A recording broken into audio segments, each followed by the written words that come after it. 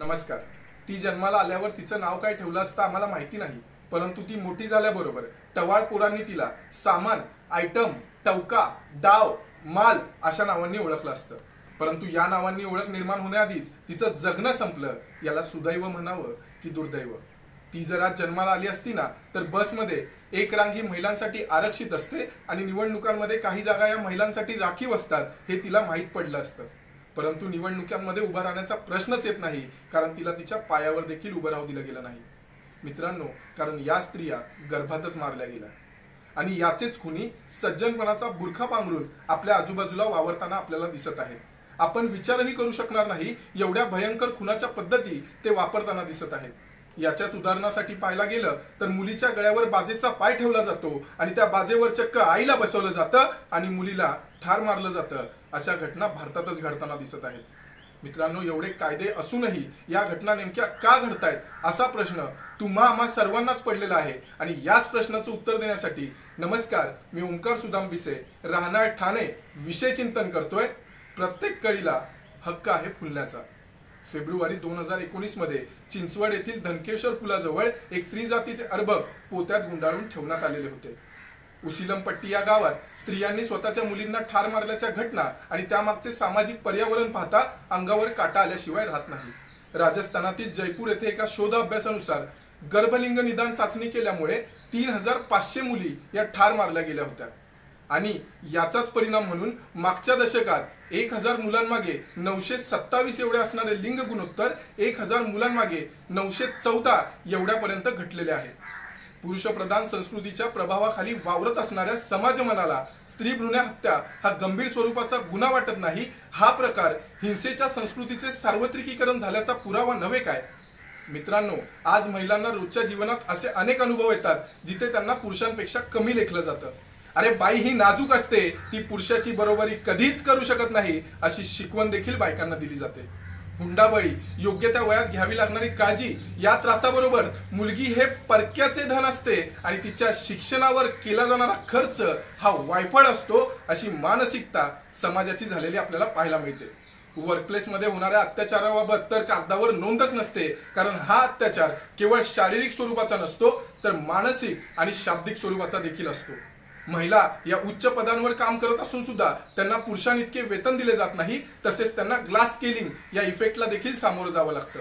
Dice मीडियाच्या ॲडल्टिंग या web सिरीजने यावर गंभीर भाष्य केलेले आपल्याला दिसते मित्रांनो राजकारण्यांबाबत बोलायचे झाले तर लोकप्रतिनिधी हे लोकांनी निवडून दिलेले असतात. परंतु याच लोकप्रतिनिधींनी महिलांवर टीका केल्याची अश्लील भाषा वापरल्याची आणि फुकटचे सल्ले देण्याची उदाहरणे आपल्याला भारतातच सापडतात. स्त्रीचे कौमार्य या बाबीला अतिरेकी महत्त्व दिले जाऊन स्त्रीचा सन्मानाने जगण्याचा हक्क हिरावून घेतला जात आहे. मित्रांनो गुजरातमधील गुडांबी या मुलीवरील अत्याचाराची घटना हैदराबादमधील मधील हबी प्रकरण आणि निर्भया हत्याकांड यामध्ये समाजाने क्रौर्याची परिसीमा केव्हाच गाठलेली आहे? महिलेच्या आरोग्याबाबत बोलायचं झालं तर महिलेला नेहमी शिळे अन्न खाऊनच समाधान मानावे लागते. ताजं अन्न फळं सलाड यावर पुरुषांचाच पहिला हक्क सांगितला जातो. आणि यापुढे जाऊन मी काय मिळेल ते खाऊन जगेन अशा प्रकारचे महानतेचे टॅग देखील लावले जाते. स्त्रीला जर वारंवार मुलगी होत असेल ना तर तिला पांढऱ्या पायाची आणि फुकट्या नशिबाची असं देखील हिनवलं जातं. निसर्गाने मानवाची निर्मिती करताना कोणत्याच प्रकारचा लैंगिक भेदभाव केलेला नव्हता. पण तरी सुद्धा प्राथमिक स्थानावर नेहमी पुरुष असावा हा अट्टहास नेमका कशासाठी? ऍडमिशन फॉर्ममध्ये कामाच्या कागदपत्रावर आणि इंटरनेटवरील पर्यायामध्ये फिमेलचा ऑप्शन दुसऱ्या स्थानावर का असतो? याचं उत्तर मला अजूनही सापडलेलं नाही. स्त्री समानतेसाठी मिटू सारख्या चळवळीच्या माध्यमातून स्त्रियांनी अत्याचाराला वाचा फोडली खरी. पण यातून पुरुषाच्या प्रतिमेला आणि अहंकाराला जबरदस्त धक्का लागला आणि त्यामुळेच महिलांना काम न मिळण्याच्या धमक्या देखील येऊ लागल्या. मेल्यावर मुलाची मांडी पाहिजे मुलाने अग्नी दिला तर आम्ही स्वर्गात जातो अशी मानसिकता अजूनही समाजात जिवंत आहे. समाजरूढीला चिटकून राहणाऱ्या अशा पालकांना समाज संस्थांनी समज देण्याची गरज आहे. मित्रांनो शिक्षणाच्या माध्यमातून प्रथम शिक्षकांचे त्यानंतर पालकांचे आणि त्यानंतर विद्यार्थ्यांचे प्रबोधन करणे ही काळाची गरज आहे. सोनोग्राफी यंत्राद्वारे बालकाची गर्भात वाढ कशी होते बालकाला जन्मजात कोणते व्यंग तर नाही अशा गोष्टी कळतात.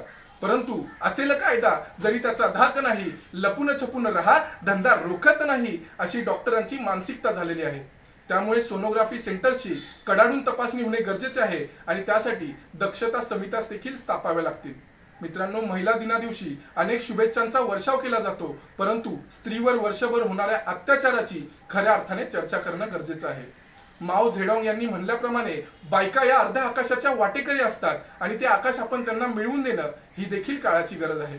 मित्रांनो बीडमधील टेकाडे हॉस्पिटलमध्ये मुलगी झाली तर आम्ही मोफत डिलिव्हरी करू असा अभिनव उपक्रम राबवला गेला आणि त्यामुळे स्त्री जन्माचे समाजात नक्कीच स्वागत होईल.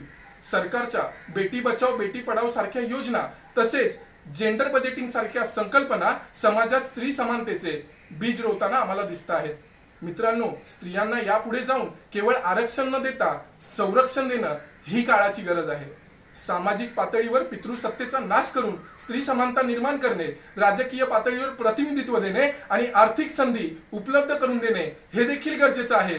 कारण शेवटी जाता जाता एवढंच म्हणतो प्रत्येक कळीला हक्क आहे फुलण्याचा.